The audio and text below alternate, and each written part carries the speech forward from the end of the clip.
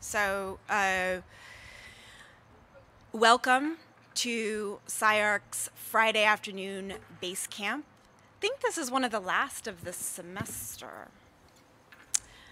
Which would stand to reason. I guess. Yes, which in this case is on, I think, a topic that should interest everyone who is at the school um, at all levels, because at some point you do graduate, and then the question is what happens next, and what your strategy is uh, for that next phase in your life.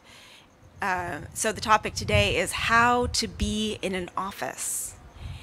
Uh, you guys know me. I'm Marrikka Trotter. I'm the history theory coordinator here at SCI-Arc, and I am flanked by two of the senior faculty members, design faculty members at SCI-Arc, Margaret Griffin, FAIA. Um, to my left, Margaret has been running her own office. How long have you been running your own office, actually? I started it in 1998. Yeah. so that is. It was Griffin Architects originally, and then uh, John joined in 2000, and so that's why it's Griffin Enright. That's why my name is first. That is uh. Two reasons. One, I married a gentleman, and two, I started it. Per- Perhaps then I should say, without further elaboration, that I work with Tom Wiscombe in his firm named Tom Wiscombe Architecture. um, and then uh, uh, to my right is Dwayne Oyler, AIA. I believe- Anti. Anti AIA, but a uh, registered architect. And Oyler Wu has been a going affair now for how many years? Uh, Jenny and I did our first project together in 2001, but we've kind of technically been in office since 2005. So, two seasoned professionals who have a history of hiring and also firing SCI-Arc uh, students and uh, alums, um, as the case may be. I haven't done that. In our office, I hire and John fires. Um, and just so you know, you guys know me here as a history theory person, but um, before I went back to academia, I did spend about 15 years in practice where I did hire and fire. Um, I have myself been hired. Uh, I have never been fired, but I, there's one time I definitely should have been fired for sure. I think I was just lucky. Um, and I currently do now hire and uh, fire for, uh, for Tom Wiscombe Architecture. So we come to you with ready experience on this topic. And I think I want to start out today by posing just one question to get us warmed up. I thought we might actually kind of start with Margaret um, and then uh, Dwayne, and then I'll see if I have anything to add once you guys have said your piece, which is what is your number one piece of advice for these fine, bright eyed, and bushy tailed students sitting before us today? um, about how not not to get let's not talk about yet about how to get hired let's also not talk about how to get fired both of those are useful skills. But could we just talk about first how to be in an office? So, from my perspective, I was thinking about this topic and I thought, well, it's kind of a strange thing because, like, how to be in an office presupposes you, you, you are um, somehow entitled to be in an office, but I, I don't think that's the case. So, I don't think that anyone is entitled to be in an office. And, and, and first of all, I think like I don't know, maybe it's more about culture. Um, so we like to think of our place where we work as more like a studio than an office. So that's number one. So maybe it's not even an office at all. Maybe it's a studio. what's the difference between an office and a studio I would say it's an atelier. It's a place where we do creative work. It's um, maybe an office is more possibly corporate. Maybe an office is more nine to five. I think an atelier is a place where um, um, there's a kind of a buy-in of a of a kind of vision of what you're working on. So, I think office culture is there's different kinds of office culture. There's like, uh, let's say, for lack of a better way of understanding it, like there's a large kind of corporate, there's maybe middle size, and then there's maybe boutique firms. So I, I- think like to me it's less about how to be in an office and it's more about how to think of uh, uh, working for whoever you're going to work for as an extension of your education, right? Like choosing the next lessons that you want to learn. What, what do you want to learn next? What, to me, that has to do with who might you want to learn it from. So I, I, I think when I was thinking about where I wanted to try to work, when, when I was in your uh, situation, I was trying to imagine what was the next lessons that I need to learn. And different people want to learn different lessons, and that's that's that's as it should be, right? Like so, if you want to learn about big buildings, and you want to really work on big buildings, well, maybe a bigger office is better. If you want to have your own firm one day, maybe a smaller office is better. You can see how to have your own firm. Um, if you maybe you want to have some experience at a big firm and at a small firm, like I think thinking of your next set of experiences, um, both both as a student in school and as a graduate, is about constructing your continued education in my mind. So, number one tip on how to be in an, in an office or a studio or an atelier is put yourself in the mode of learning. Yeah, yeah. Figure out, yeah, figure out what's your next experience because, uh, you know, in architecture, part of your pedigree is uh, not just where you went to school, not just your portfolio, but who you worked for. I, I think in architecture, there's a kind of pedigree to who you work for and that's really important. I agree. Um, so. Yeah, I, I don't know that I can answer it a lot differently. I, I think um, I so agree with that. Like it, it, it's funny how some so many people get out of school and um, they think I'm I'm going to get a job, like a just a job. And it, I, I, you know, maybe one way to answer that is to say, you're not going out to get a job. You're going out to set the trajectory for the rest of your life. Uh, sounds like a lot of pressure, right? Um, and you can you can you can reset that course at some point. But I, I think uh, if you think I got a long career out of me ahead of me, particularly as an architect, a long long career. Uh, you want to shoot off in the wrong direction from the beginning. You want to kind of put it in perspective and think, this is the rest of my life. You know, I need to figure out how to to couple uh, what it is I loved about school with what I loved about uh, love about life in general together, and somehow make sure that the that first step that you take is is the right step. Um, but uh, I would just say at the same time, I remember when I was a young, trying to be a young professional. I oh, I had worked for I was coming back from Berlin. I was working for this architect in Berlin, and then I was coming back to New York City, and I just I needed cash. You know what I mean? It was Christmas. I needed cash. I got a job out of the newspaper, and I just started the next day. I, I was lucky to be hired, but then I kept looking for the job I really wanted. So sometimes you need to take just a job. Yeah, I told my okay. story earlier. I did exactly the same thing. I took a yeah. job I, I, knew I didn't want. Yeah. I, I don't think anyone can go wrong taking any job for a year. Yeah. Any job, corporate, small, barely doing architecture, any job.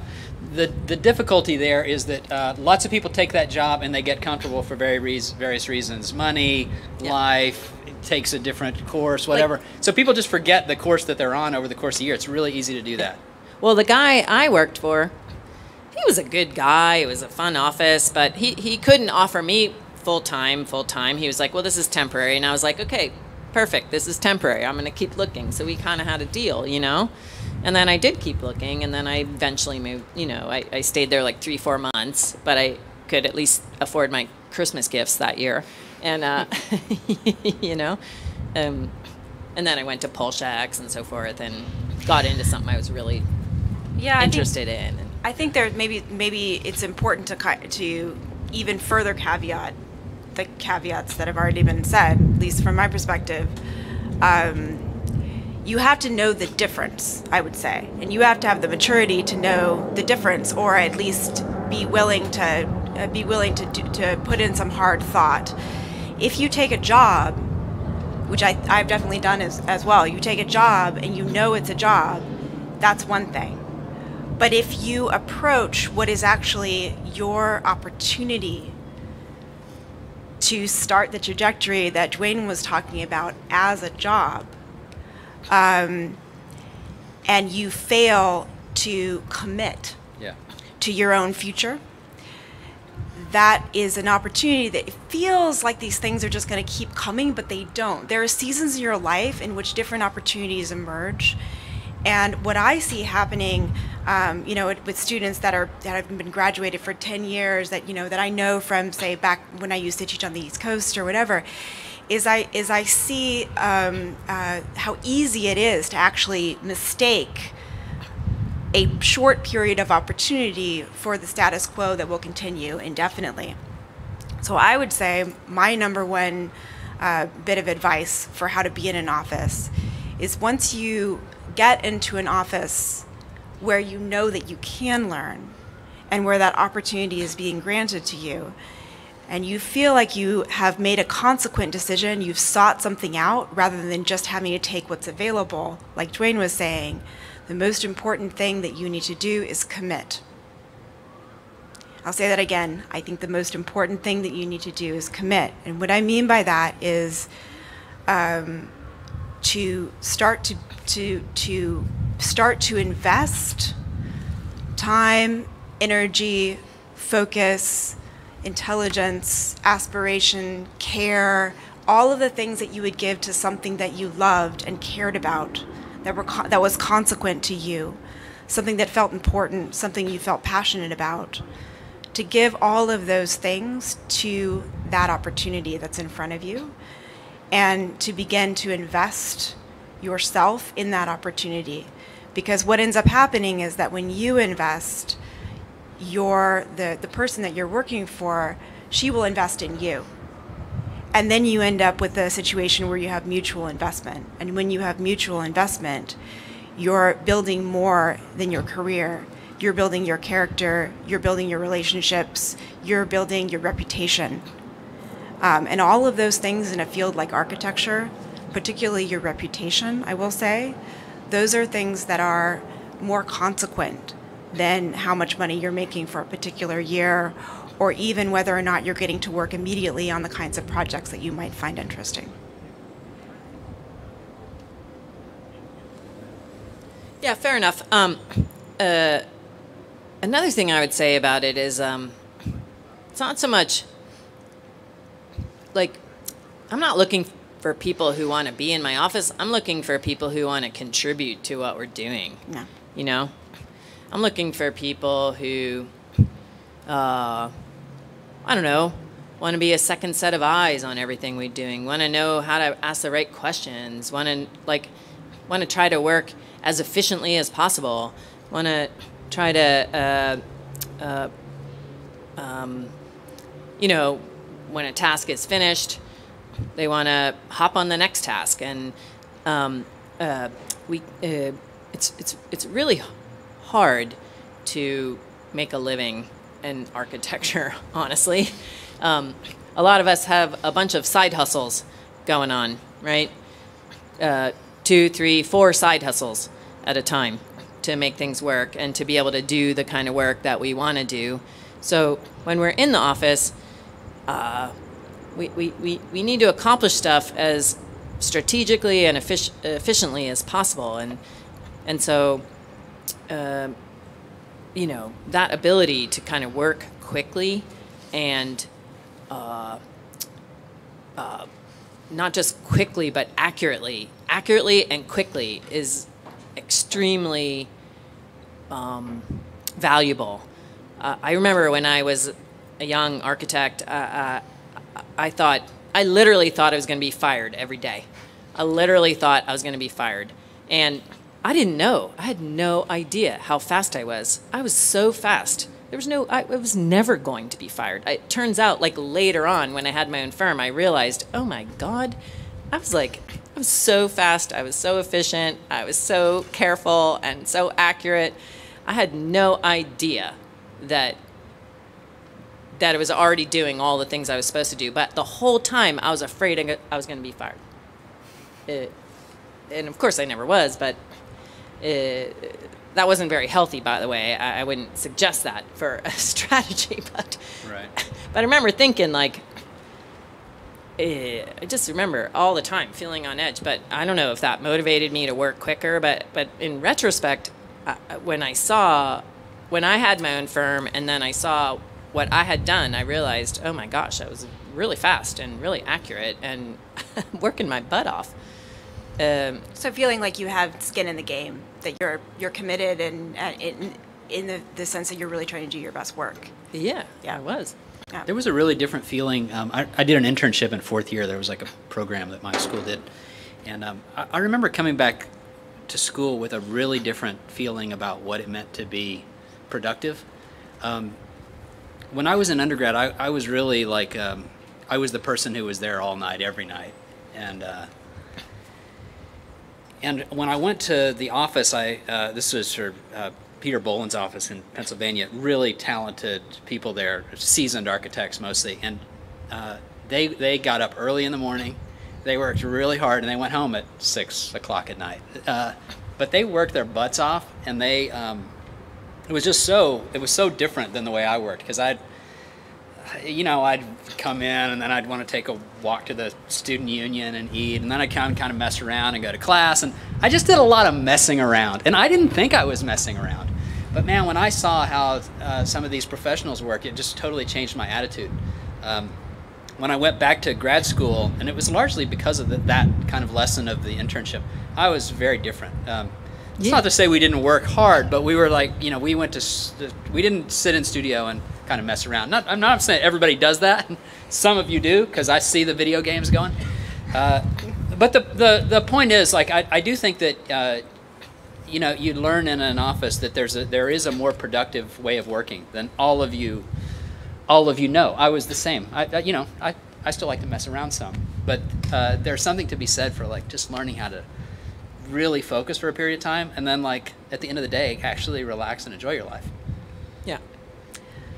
Well, I would also hope that it would not always be so binary that you would be having to treat working in an atelier or a studio, and I like the way that you're using those terms, Margaret, as the thing that you have to get through so that you can enjoy your life. Yeah, yeah. That if you know me at all, you know that's that probably came out wrong. Um, I, uh, I mean, I, I probably more than anyone would say like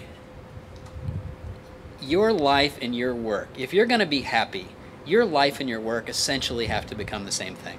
I don't know anyone in any profession, and I'm not just talking about architecture, in any profession who really doesn't uh, enjoy their if if you if they don't consider their job an essential part of their life, they're pretty unhappy at their job, and that's not a that's not a great way to exist. Going to work, disliking your job, and then you know getting home at the end of the day and saying, "Whew, I can finally live my life." Uh, horrible way to be. I'd figure out what about your job it is that makes you really happy, and accept that that, that is your life. Uh, so you better figure out how to kind of steer it in the way that's going to make you happy every day. Uh, that doesn't mean every minute you're going to be happy. Sometimes you got to work harder than you want to be. But what should make you happy about it is the reward that comes with, uh, you know, the moments of satisfaction, of completion, of uh, creativity that, you know, are especially uplifting in a creative field like this. Yeah, uh, which is not to say that there's not going to be days when you're like, you know what I mean? um, uh, uh, which, which, which, to this day, I'm still having. You know what I mean? Like recently, I had some really challenging things where I'm in our business where, you know, having to do often with contractors, and uh, where part of me was just like, what am I doing? You know what I mean, I, I, I had my class knows. I told them I, I had a couple days, a couple weeks ago where I was just like, I, I want to quit my own office because this stupid contractor driving me out of my frickin' mind. Um, but eh, you know, now we got our C of O, and uh, we're past. You know what I mean? Like, it's it's working, but uh, but there's ups and downs. It's like a marriage or whatever, or like a partnership. Like, you know, it's not all roses uh, when you're doing something. E- e- e- even like like we have our firm, and it was always my dream to have my own firm, and I have it now. But it's not it's not all roses every day. Uh, there's No, it's not definitely that- some. It's not that dissimilar from uh, from parenting. I think we're all parents at this table, and you know, you you are like, it's my dream to have a child, and uh, you know, one day you have a child or you have several children, and some, you know, every once in a while you're like, this was a horrible mistake. um, but on balance, it is one of those. It's a it. Well, I, I don't know. I keep coming back to the word commitment because I liked also what you said about marriage. It's like marriage. Marriage is also a matter of committing through ups and downs. Um, but it's like, but what a terrible thing to commit to if it's not aligned with your passions. Now, fortunately, I will say that there are such a broad range of things to do within this field. Although the field of architecture might seem quite small and quite specific, um, there are so many ways to be part of architecture that I'm very hopeful that even if you start out in a particular role or doing a particular type of thing, you're thinking, oh my gosh, this is terrible. I treat it like a job. I need to go home and do three hours of like loofah, you know, self care or something just to kind of recover from what I had to do during the day. There's there's more to come. There's so many ways. You know, you might decide. What if you wake up one day? I just put this on the table. What if you wake up one day and you're like, holy shit, I actually am not that good at schematic design. Schematic design is like the holy grail of like a talented architect. You know, they come in they're like, it's how it's going to be, the massing, whatever. Um, what if you wake up one day and you you suddenly realize there are like seven other people in your particular atelier that um, are better than you, and actually what you really like is kind of organizing and detailing and did, great actually that's super valuable. Being able to put together a neat spreadsheet being able to balance uh, quantities with qualities. There's uh, being able to to understand codes and to spec things accurately and carefully. Uh, being able to communicate with clients being able to bring in new clients. If you have the social superpowers to locate and lure in new clients you have a future, a passionate future in architecture for sure. So I, I, I will say that sometimes it takes time to find the things that make it worthwhile to be invested in, in the, the field. Um, and that's one thing that you can really lean into when you're just starting out. As you guys are preparing to enter uh, the profession, you might ask the person that you're working for, hey, could I try this? What about that? I'm wondering if I could do this. If I do a good job on this, could I do that? Um, if you're if you're willing to, um, let's say, show up. um, and by the way, showing up also includes. I think we could probably agree on this. Showing up includes being on time. I know that sounds really simple, but being on time is very important. If you show up and you're, it's not like you're half asleep and you're in your pajama bottoms, but you actually show up for real. Um, then and you say i'm interested in this i want to learn about this i want to try this or whatever those things um, unless you're working for a true um, and rare jerk will be will be super valued and, and rewarded and that's a good way to find where your passions lie sorry i feel like that was long um, uh, uh well, one thing I was going to talk about, mm. just in general, is like going back to like what kind of lessons you want to learn. Um, I don't know. Uh, I know that many of you are undergrads. Like, I know there's seems to be a new trend of a lot of undergrads going straight to graduate school, which I would just say, um, I would maybe think twice about if I was you. Um, I think grad school, obviously, it can be a good thing depending what your goals are, but when you come out of SCI-Arc with a BArch, you are already so valuable. You don't need grad school what grad school would be for is if you want to be a teacher. You're gonna you're not gonna get more from grad school uh, as far as like moving into the profession. But if you do want to go to grad school and you work for a couple years say two three years before you go to grad school you're going to get so much more out of grad school because you're going to be a better student. Because well when you work in a firm you gain facility you gain like I was saying, you gain the ability to work quicker. You, you have an understanding of uh, efficiency and facility. And if, if, if, if you work for, say, two, three years and then you go to grad school, your grad school experience will be um, exponentially more valuable to you, I would say. Yeah. I, I don't feel as strongly about not going to grad school, but uh, 100% agree, don't do it right away. Um, yeah, this has been a trend that I, I don't think is a good one. Um, I went to I, I took three years in between undergrad and, and grad, and I um, during that time I worked for several people. I did a lot of freelancing. Super interesting time in my life. Um, after grad school, I thought about the things that I didn't learn prior to grad school, and so after grad school, I'll come back to the grad school part. After grad school, I said I'm going to go work to work for a practicing architect that's doing houses. I want to learn how to make buildings, um, and I spent another three years there. Um, so there was a little bit of regret there that I didn't that I didn't learn that.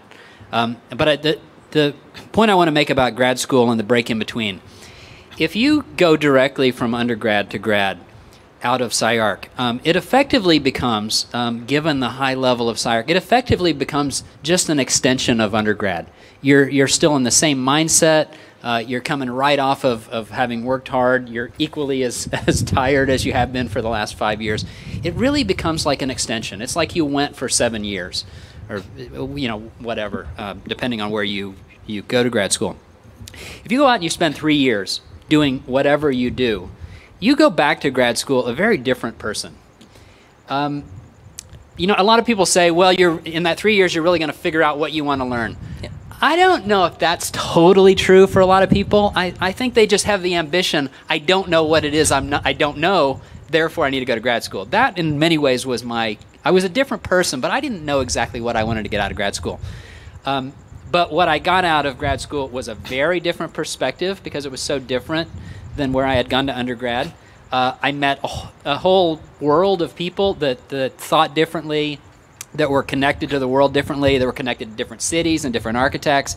So it was just like everything I, all the connections I had, I, I doubled that, and because of, of because I went to a, a undergrad in a place that uh, is in the middle of nowhere, uh, it just opened up a world of connections that were so amazing to me. Um, so I didn't know what I was going to get out of it, but I, I got so much more than had I gone out of undergrad. One uh, other thing I'll add to that that I, I don't like to say publicly because it's a little embarrassing. Uh, when I got out of undergrad, I applied to three grad schools. I didn't get into any of them, none of them. Um, and I went out and worked three years, and I got into all of them. Uh, and I don't, I, I can't explain entirely why. Uh, I think it had a lot to do with people I worked for uh, in between. But I think I had a different perspective on how to make a portfolio that kind of made sense and was thoughtful. It wasn't clicking off the boxes that people in undergrad had told me, here's what you do to get into grad school. I just I made the portfolio I wanted to make, and I said the things in the statement I wanted to say. I was I was more an adult, uh, so wait a little bit. Go out yeah, and become an adult. I waited five years. Uh, I mean, I worked for five years uh, before I went to grad school, and I had my license before I went to grad school. Wow. Mm-hmm. I got my license. And um, when I went to grad school, I was, I just, I was just so much more focused uh, because I, I had to pay for it myself. In my family, grad school is on you, and I had to pay for it myself. So it was like incredibly, you know, I was like, the year before I went to grad school, I waitressed at night to save up money to, to in addition to working, I worked as an architect and I had a waitressing job at night to make extra money to support my grad school. And um, I wanted to go to grad school because I wanted to be a professor, and um, uh, which is one reason to do it. And I knew I wanted to be a teacher because I knew I wanted to have my own practice, and I thought the two could um, somehow have a symbiotic relationship. Um, I thought teaching and practicing would work together. Um, but those working for that long before I went to grad school, um, it, it, changed um, what I was able to do in grad school. I, I was able to do so much more. and I really did know what I kind of wanted to learn. Hmm. You're also able to understand what networking is as opposed to having your undergraduate relationship with your professors, yeah. which I I've seen a lot of people. So I do I did want to talk uh, for just a second about the financial side of things too because I I recently became aware somebody explained this to me and I I was I was actually interviewing them and that this came out and they said it was kind of a widespread understanding so I just wanted to clarify something real fast on that but then um, also it ties into what both of you are, are making the, the case for. So, sorry. One, just so you guys know, it is absolutely not true that you make more money as a starting salary as someone who has graduated from an MArch than someone who has graduated from a BArch. There is no bump. There is no, let me just say that again. There is no bump. What you get paid more for is experience. And the kind of experience that's the most valuable is the kind that goes two to three years minimum or three to five years maximum at the same office. Because that's how long it takes to learn anything in this field and to see significant projects through all the way. So the, the three year window, three, five year window that my colleagues are talking about here is a, that's a consequent figure because it allows you to actually gain what then is financially remunerative experience. So that's the first point I wanted to make. Second point I wanted to make is that a lot of times the lure, like the excitement of going to, oh my gosh, I got into Harvard, GSD, or I got into Princeton.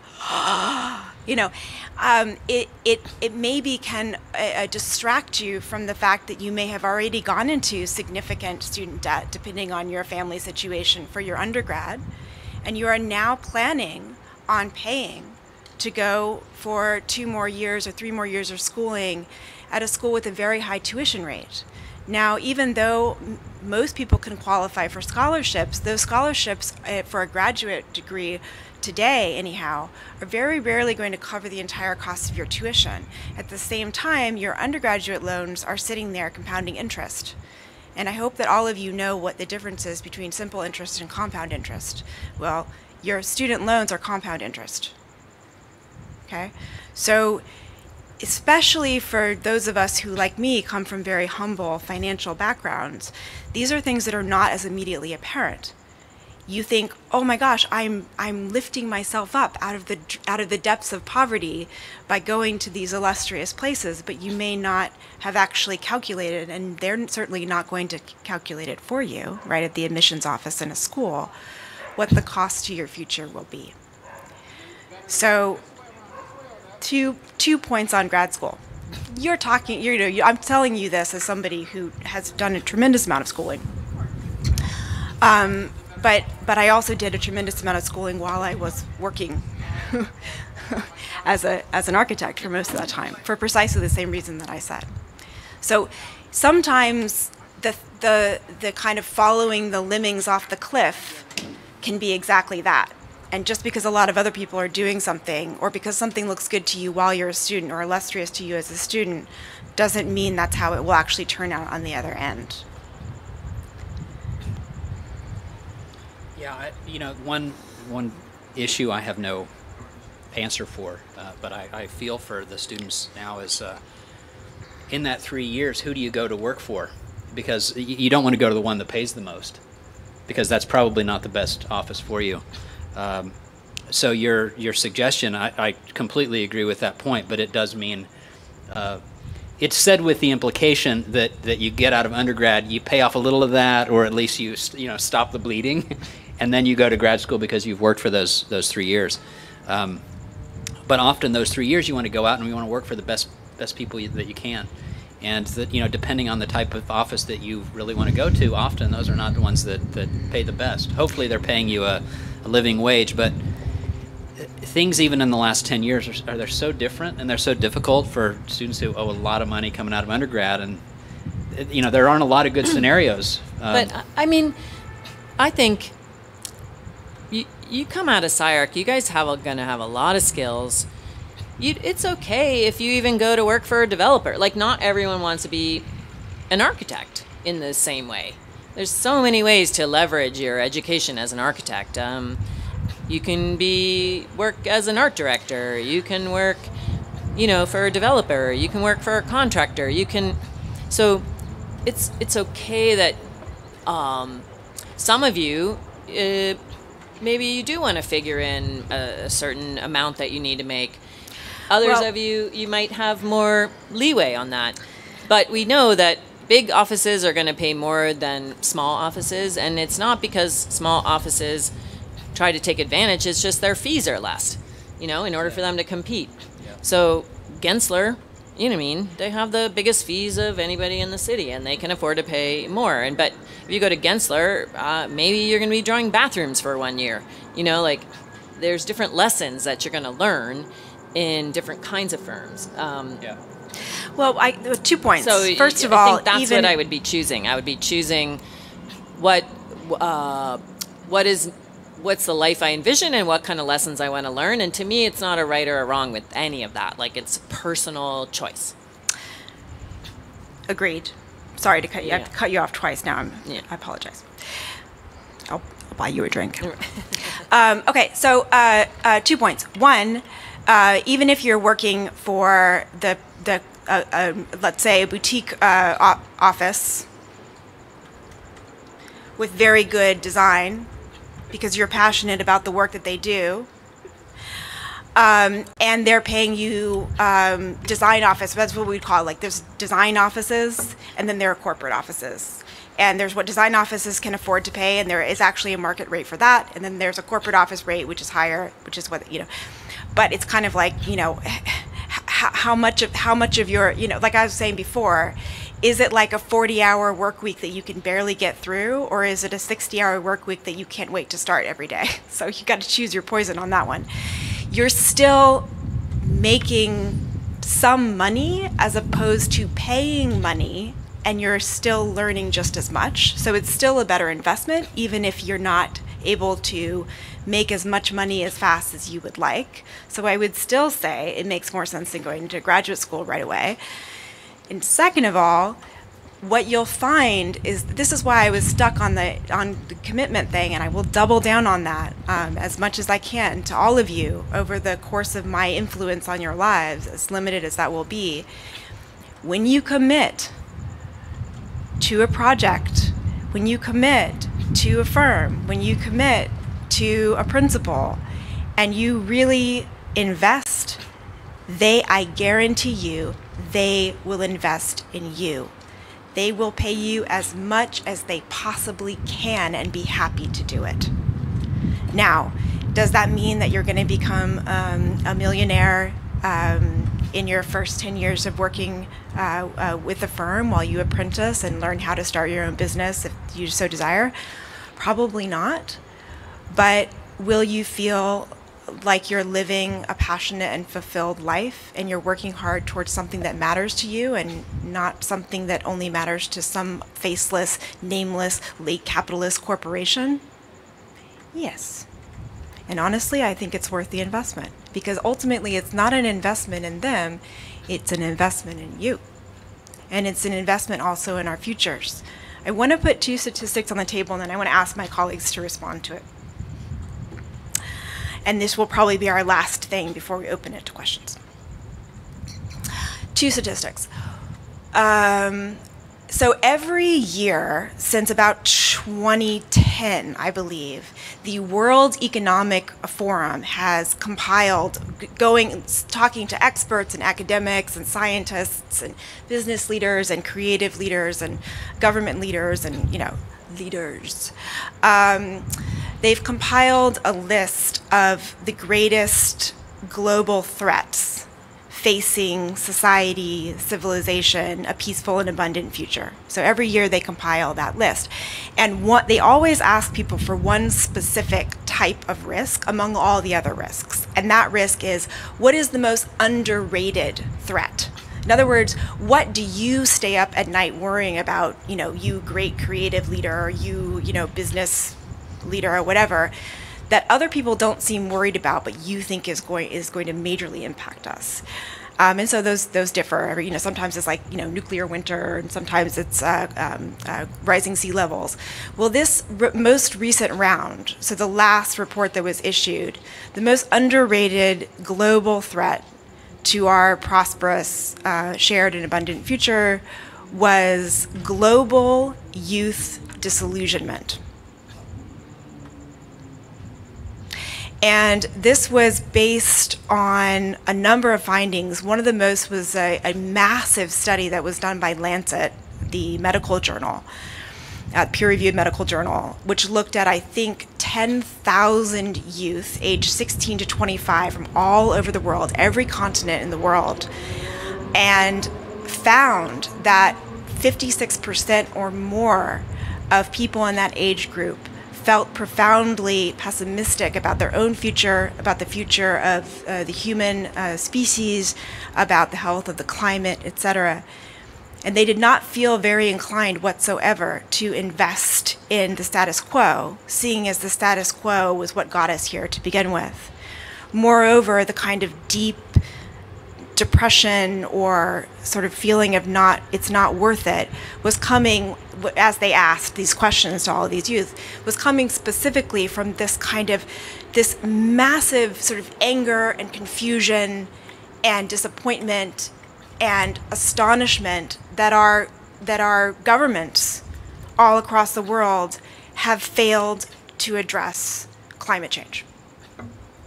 That we have just so far at least failed to address climate change.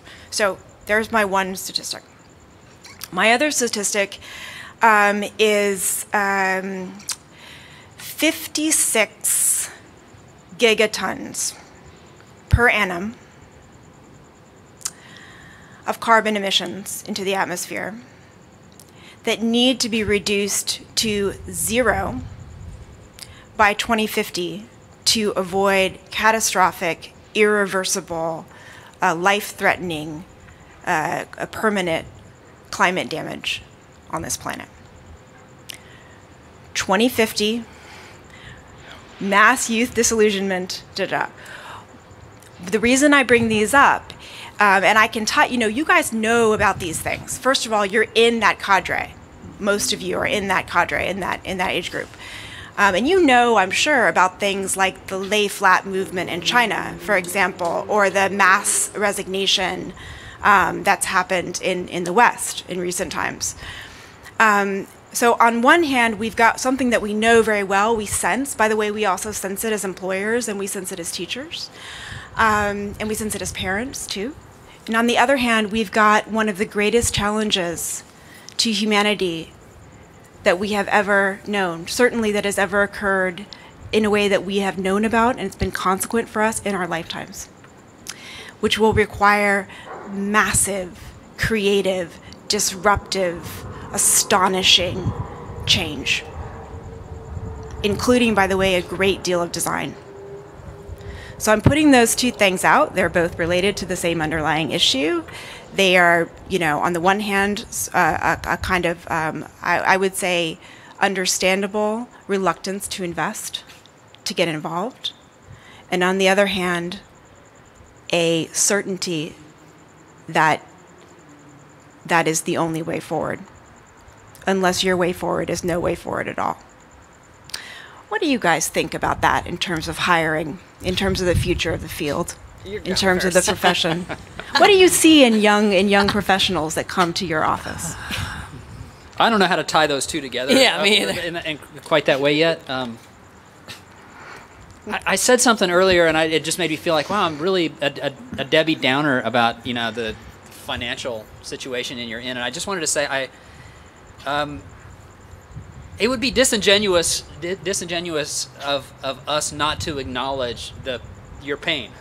And so that's why I say that is, is I think we understand that and we didn't face that same kind of thing. And uh, so while I can be a Debbie Downer, it's largely because I, I want to, you know, express what I actually feel. Wait, what, what didn't we face? Well, when I when I said something about uh, the we, we didn't face the same financial difficulty they did. I'm from a poor family. You're all from from from those kind of families. You had to pay for your own education, but paying for your own education 20 years ago was really different than paying for your own education through undergrad and grad today. Yeah, fair enough. Well, I, I had to figure out how to do it all on my own, but I, I could. And I think most people going to schools like SCI-Arc and an Ivy League, I, I don't know how you do it on your own today. Side hustle. I'm going to repeat it side hustle. Several side hustles. Um, it'll get you part of the way. But any, uh, the reason I bring this up is because I, I think that um, while I want to be realistic about those things, I also am just in general incredibly optimistic as a person. and I think um,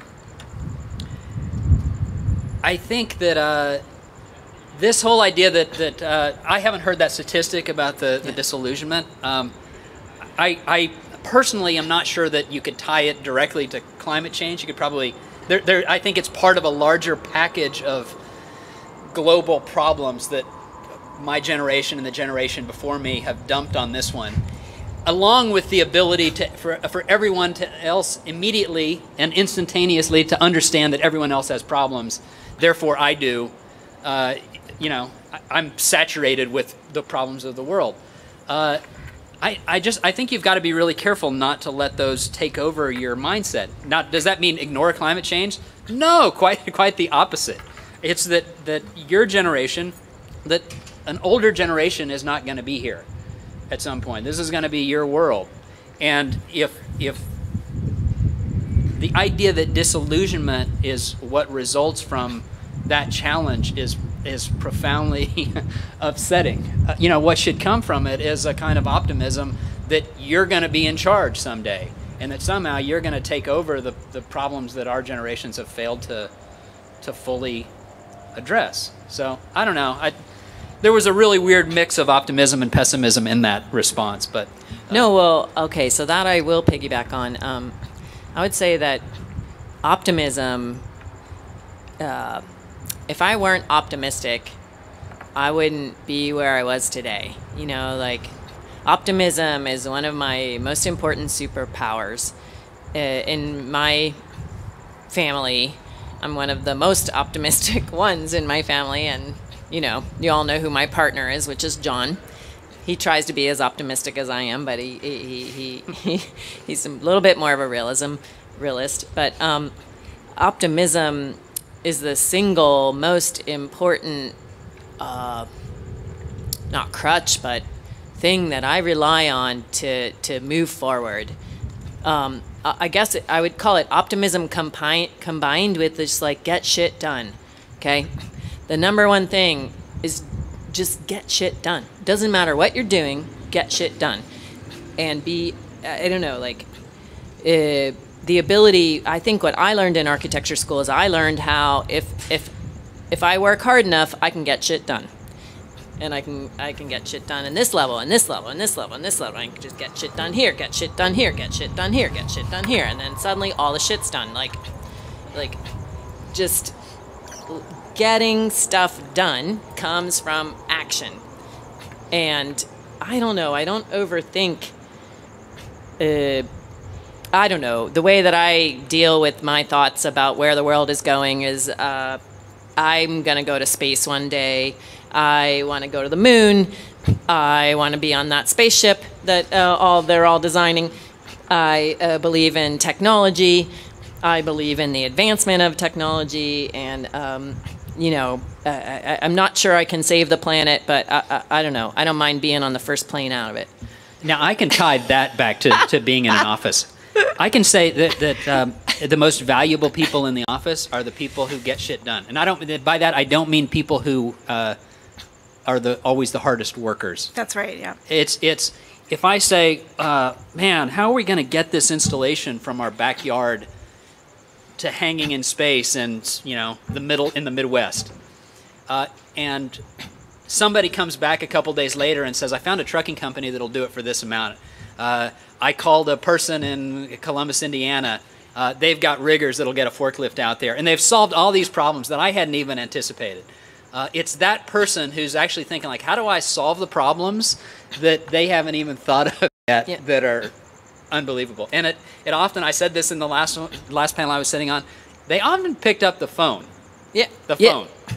Uh, yeah, if I can tell you not anything. to say don't email, but pick up the phone. It's amazing. No, in my office, it's like if you email someone, you you call them five minutes after you email them. Yeah. You don't wait two days later and they didn't get. Oh, I emailed them two days ago. They didn't get oh, back yes, to me. Well, well, call them. Yeah. Call them. Call them this morning. Call them to uh, afternoon call them tomorrow morning. Like, call them until you talk to them. Yeah. By the way, the, the person who figures that out and who does call and you kind of isn't just kind of like, well, I emailed, those are the people that get the raises. Well, the people um, get shit done. So be a closer. Be be like a closer. I, I think we had better open it up to questions. Otherwise, we're going to get some exciting colors um, dumped on us. Does anybody have any questions? Yes?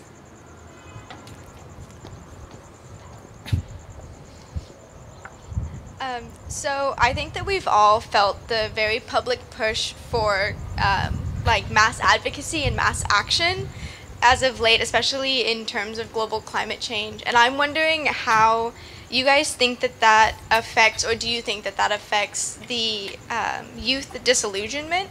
And do you think that's a negative or positive effect that it has?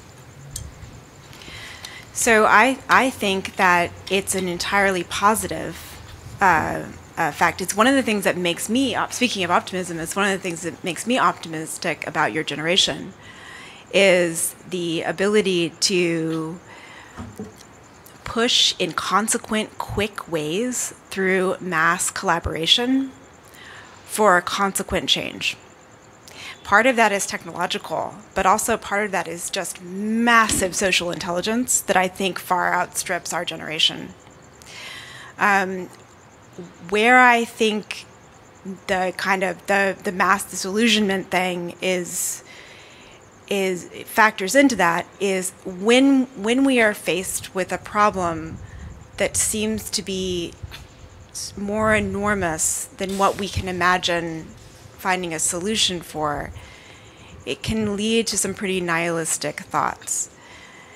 And for me, the idea of mass collective action that we see uh, in your generation is one of the great pushbacks against that kind of nihilism. You know, ni- nihilism is is um, is small thinking. You won't find creative people who are nihilistic in their approach to their future. You will find creative people like Margaret and Dwayne who are deep optimists, not naive optimists, but optimists in the sense of being ingenious, creative, engaged in the world that they find. Yeah, like I can't identify with disillusionment. I can't. I, I can't even identify with that, and I don't see it to be. Uh, I don't know. I, I don't see it generational. Uh, my daughter is your age. Okay, my daughter is exactly your age, and I don't know. Her friends. I, maybe it's just who I'm around. Even my students in the class. I, I don't see a lot of disillusionment. Uh, but maybe you have it. I, I don't. I don't find it helpful. So I can't. Disillusionment, uh, uh, for me, is a useless uh, expenditure of energy and time. I, I can't afford to be disillusioned. I, I have to. Uh, I just have to go onward and upward and get shit done. I, I Yeah. can't even. Well, clearly, what has has um, the idea that that there is a kind of uprising around social justice issues. Obviously, what caused those is leading to a lot of disillusionment. How could it not? It you know, uh, it's the idea that that this has kind of come to the fore and people are rising up against this that is what's so positive and and uplifting. Uh, the but what the what's left though is it's too damn slow. You know, so like, how could that also not lead to some disillusionment? So you know, you go out there, you keep fighting for it, and uh, you know, you get a little frustrated when you don't win every battle. Uh, but you, you keep insisting it's moving too damn slow. I mean, I, like I think about how this lifted. You know, a lot of architects. Uh, you know, people like Tom and, and Eric talk about um, the resistance that drove their work in the '60s and '70s into the '80s, and uh, you know, it, it I don't think of, of the way we work as a form of resistance, and they always want that. What's your form of resistance? you know, they, don't understand how we, we wake up in the morning without a feeling of resistance. But I just don't operate that in, in that way. But somehow that brought them uh, like a feeling that uh, a very positive, optimistic view of the impact that they could have on the world. And so I, I think this. My hope is that your generation feels that kind of fervor and, and drive from a form of, of resistance. Yeah, I guess maybe part of my attitude about it comes from the fact that, you know, I was a young female architecture student in the 80s, the early 80s. This was not an easy time to be a girl in the architecture field. And I had to overcome a lot of bullshit, honestly. And if I had I, like I had no time to be disillusioned. I had no. It, it, it's in that regard that I, I don't have a lot of sympathy for it because I needed to overcome so many things. And that's where my optimism really helped me because not only am I optimistic, but sometimes I'm naive. So sometimes I don't know if someone like like let's say I'm on site and there's a contractor and he doesn't think I know what I'm talking about. Well, I'm so naive that I don't know that. I, I just think he's an idiot. And maybe he you know what I mean? Like so I, I didn't have time to worry about what others um, like disillusionment wouldn't have helped me. So the only way I could help me was to like overcome any obstacle that was put in front of me. And there was a lot of obstacles. So the only way to overcome all those obstacles was to be slightly naive and um, very, very optimistic. And then just don't stop. Just like never give up. Mm-hmm. I would say those three things is uh, was part of the secret sauce for me. Um, hi. Um, I feel like what you just said is kind of probably going to answer my question a little bit. But um, so I, I just I am like being here at this school. I, I struggle with because um, I also work in the field, and I I struggle with um, I guess separating work from school, um, in the sense where like when I design, kind of like the building that I'm doing right now. There's a lot of space that I feel like is really unusable or um, just really weird. Um, but you know, the professor says, "Oh no, you can do this or that."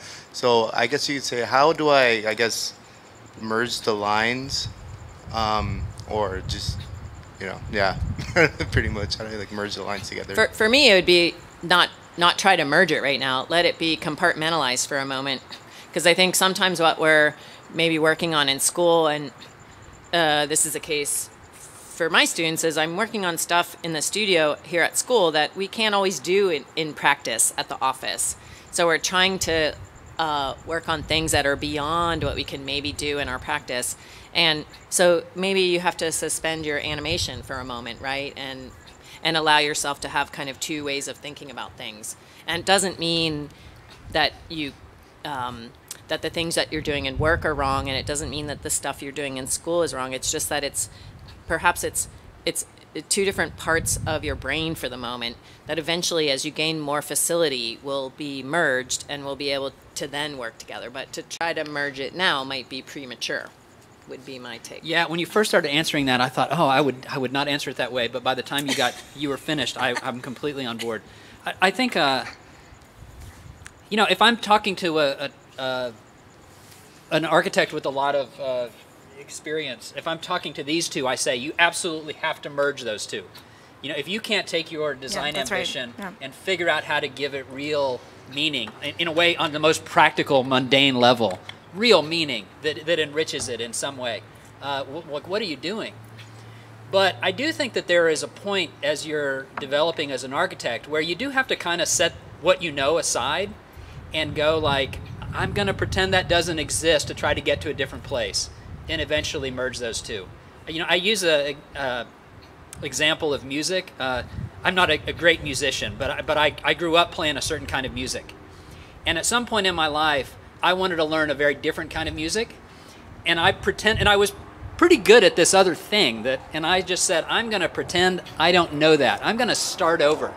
And Jenny kind of looked at me as I'm learning one note at a time, going, what are you doing? This is insane. Uh, but five, ten years later, those two things became completely merged. I can't separate the two now. And the hope is that at some point those th- those things become fluid and you're you know you're able to improvise between the the two sides of your brain as Margaret puts it. Yeah, I, when I was doing my undergraduate, I it, which was my professional degree, it was a BArch um, I was going to school. It, it, honestly, the only way I could even begin to afford um, college was I, I went to school at night. I was at a night school that was designed to let you work full time during the day. So I was working at a firm during the day, and then I was being asked to do these really zany things at night. So maybe something similar to what you're describing. And about halfway through, I had a professor who was really good. There weren't like not all my professors were really good, but this one was really good.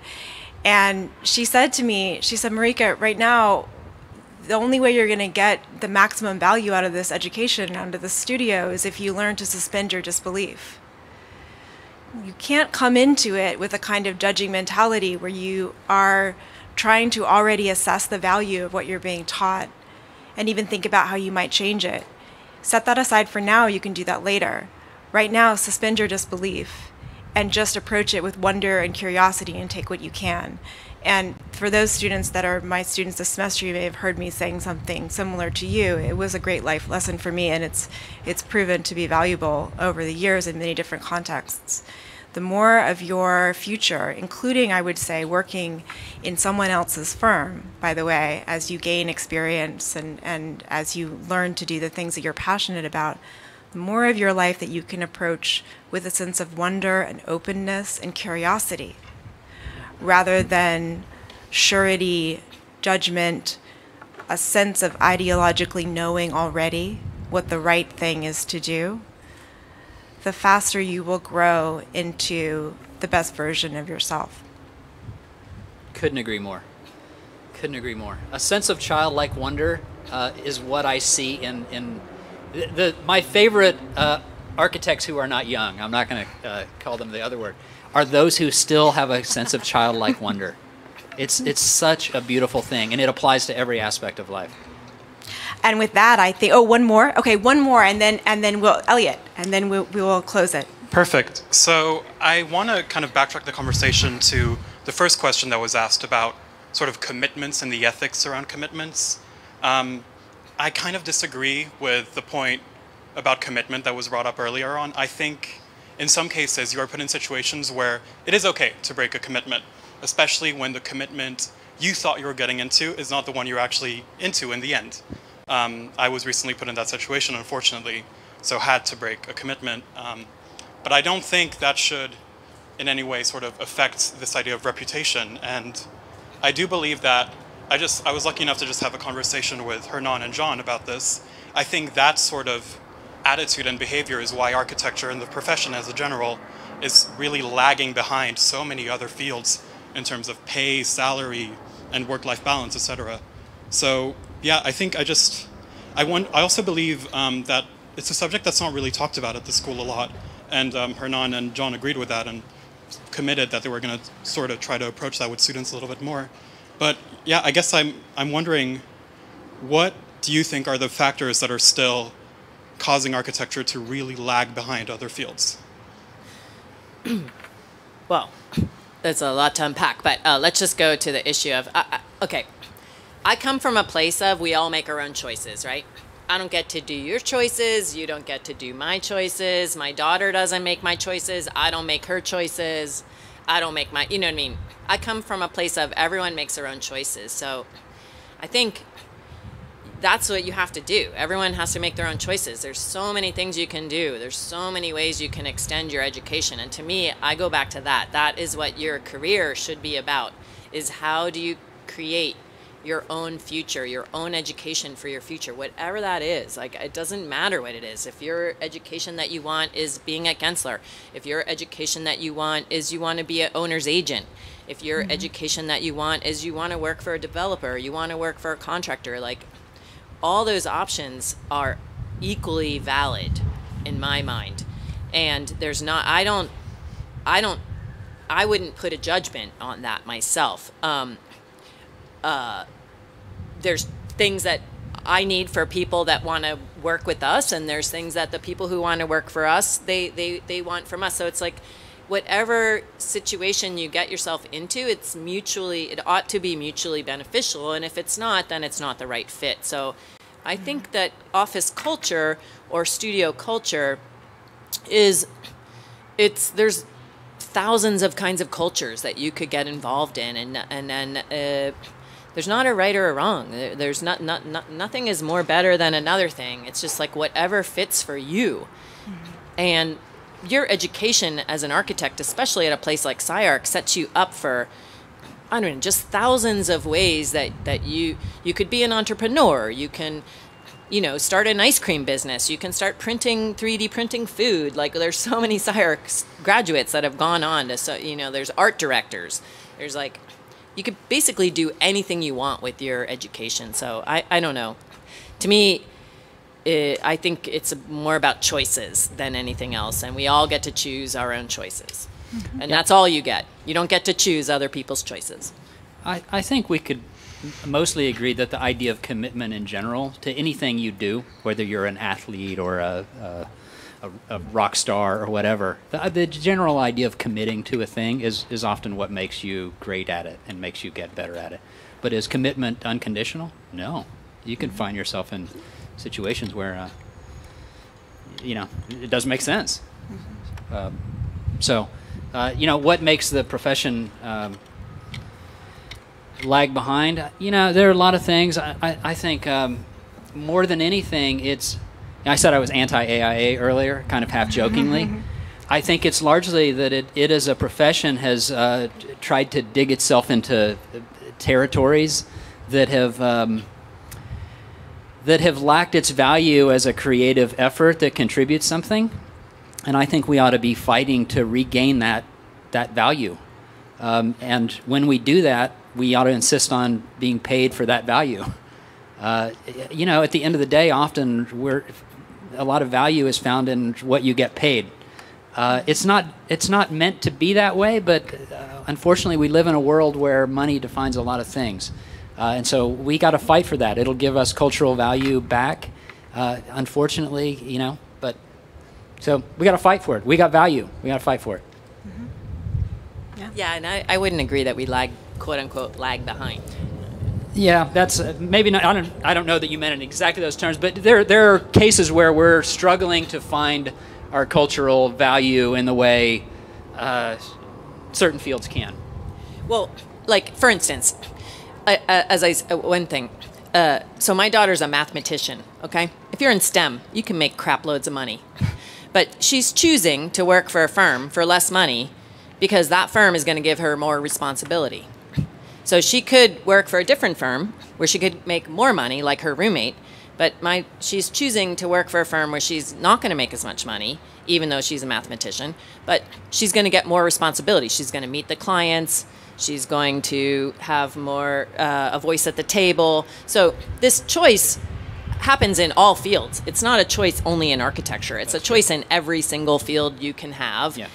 And it has again, it has to do with about what kind of lessons do you want to learn. And it's especially true in any field that involves creativity. True in every field, but especially those that involve creativity because it's easier to find reward in those, and therefore people are willing to make greater sacrifices to do them.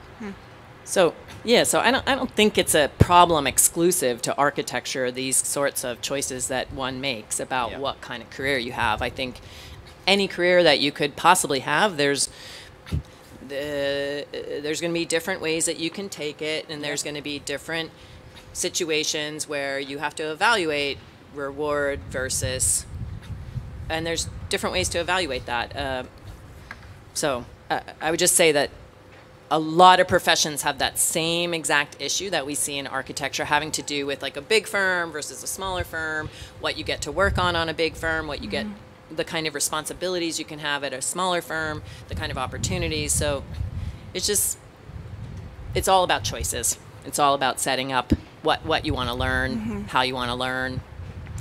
And it's also raising the the issue too, which is good that you put it on the table, Elliot. That that it's it is really important um, to make sure that you know what expectations are on both sides at the beginning of a you know be, of, of starting to work for somebody or also on you know on, on our side as, as employers of bringing somebody on. So having being very open and, and frank in conversation right at the beginning is I think a really important thing that sometimes I think um, students are um, or, or young uh, uh, young professionals can be a little bit frightened to talk about stuff like opening like well but do you really have health insurance? or you know like what whatever the, the, the worry is. Um, and I would just encourage you to just be to, to, to lean in and, and, and be very open and ask lots of questions at the beginning so that things feel clear and, and also so that you know that what you're choosing is the right fit at the right time. I have one last question. Um, So you said that. So Margaret, you said that you know people can make their own choices. Um, but what do you think about how the system is set up in the way that a lot of architecture students, when they graduate, they work in they work for like an unlivable wage, and then they still have to do side hustle, but it still doesn't pay the, the bill. And at the same time, the majority of the students in SCI-Arc are international students, and they cannot work outside of school, and they make like under five hundred dollars a month. So there's no way that we can, you know, afford SCI-Arc just do side hustle. So what do you think mm. about the whole system being set up in the way that we felt like we're not getting the most out of it, and we being feel like we've been tricked into, you know, working in this field and have so much expectation and fulfillment, but we don't. Those expectations are not met in the industry. Uh, I, well, I don't think it's a system. I don't think it's a. Um, eh, there's plenty of places where you can go and again make a, a I don't know. There's Orange County. There's Irvine. There's lots of places you can go in a bigger firm. You can make plenty of money.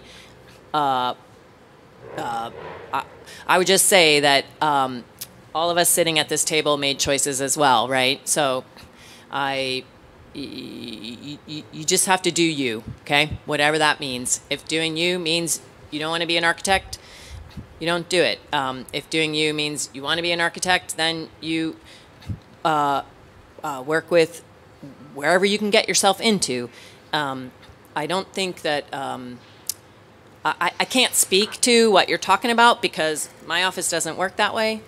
So I, I, I don't exactly know what you're talking about, but um, but I, I just think that uh, uh, you know I, I there's probably plenty of things I could be doing that I could make a lot more money at. But um, I personally have developed the side hustle so that I can do what I like and then have choices about what I like. So um, I, I don't have to take on projects that I don't want to work on. Um, I purposely made my own firm so that I could do what I like. Like, you, you just, I positioned myself so I could have my own firm. Um, I, I, I just think everyone has to carve out whatever it is that you want to do, but I, I don't agree that there's not opportunities out there. I, I don't think that's true. And um, uh, it, it, it's not, you know, getting a job is, is, is never easy. I mean, um, uh, I, I, I had my first job when I was 16 years old. I always had a job, right? I started saving money since I was 16 years old um, so that I could, I, I saved money uh, for many, many years, even before I started to be an architect, I had savings from when I was a kid, from working as an industrial seamstress. So it's just like, whatever it is, like, uh, you know, my daughter had a job when she was 16. In in her generation, barely anyone had jobs. So like, John had a job when he was 12 years old. He started uh, a paper route. You know what I mean? Like, I I, I can't. I, am not identifying with your question because I I don't. Uh, I think there's plenty of ways for your education to have value, uh, whether that's in the field or not in the field. But but even in the field, I, I don't I don't think it's infeasible for you to uh, have value from your education. But if you feel that way, then maybe you're in the wrong field. I, I don't know. I don't know how else to answer it, but. Um, I think that's true. Many of us, uh, you know, figured out how to, to work in a corporate office for a little while and then take that short-term gig for a little while to because we wanted that experience. And you know, should you should you work that whatever it is, five hundred dollar a month job after school long term? No, no. You know, but can you find value in a short term um, uh, job for a little while? Yeah, possibly. I hope so, but long term, no. Yeah, maybe even never. You know, maybe even never. Maybe you never work for, you know what I mean? Again, no one is saying that you should do that like it's all about choices right it's all about what you set yourself up to do like no one is saying that you should do that um, you know like it, it's not more it, again uh, there was many times when i was an architecture student i waitressed in the summer so i could make more money because you can make crap loads of money waitressing right but because i didn't have a lot of architecture internships when i was in undergrad that's why I worked for five years before I went to grad school. You know, I didn't I didn't have a, an architecture um, internship ever when I was in undergrad. I, I didn't have one until after I graduated. Um, and then I did go to Berlin and I did work for $500 a month for uh, uh, three months, and that was my choice. And, and I could fund that because I had waitressed for five summers before and I had extra cash that I had saved for all that time. And I chose to fund it. And then I came back and I, I had that on my resume and then I got a proper job, you know, like, so i it's all about crafting your path. Um, and then, you know, doing it the way you want to do it. Uh, and it's not a right or a wrong, but um, uh, and as I said, I even worked as a waitress when I had a job as an architect because I, I made so little in my job as an architect in a place where I had a lot of responsibility that I that it wasn't enough, and I had a waitress at night to save money for my grad school. But that was my choice, you know. Uh, and I saved enough money to go to grad school, and then I didn't have student debt after I went to grad school, and then so, uh, but then eventually, as I got older, I started to try to figure out more other kinds of ways of getting gaining financial freedom, like stocks, buy stocks. Yes, that should be our next Basecamp is Margaret Griffin, how to invest as an independent woman. Um, all right, guys, thank you so much for coming to this Basecamp. Thank you to Margaret and to Dwayne. Um, and I, I think we're having a, um, a Holi festival is going to take place right about now, which sounds great. We should all stick around for it.